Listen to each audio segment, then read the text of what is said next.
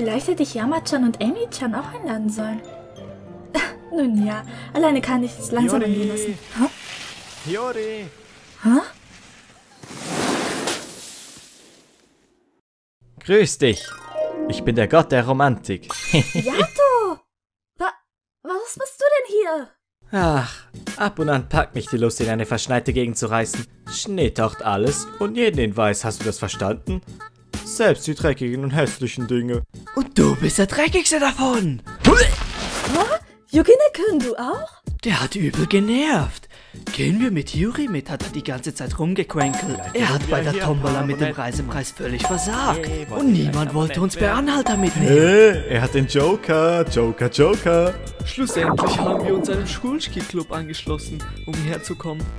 Du hattest es wohl nicht leicht, Yukine-kun. Kommt schon, legen wir los.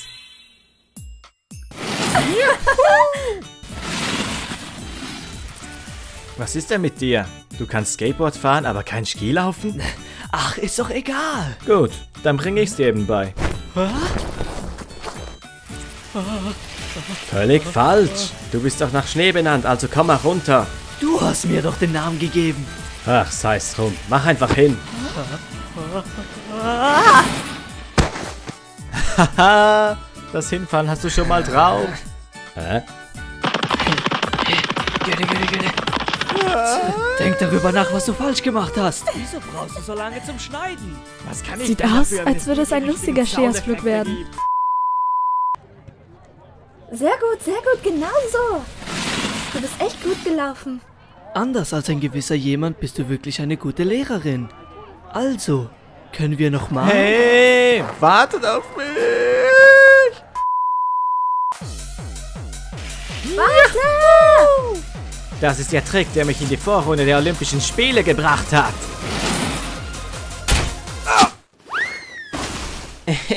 Das war nur ein Probelauf. Nächstes Mal mache ich sicher richtig. Da steckt ein Pfeil.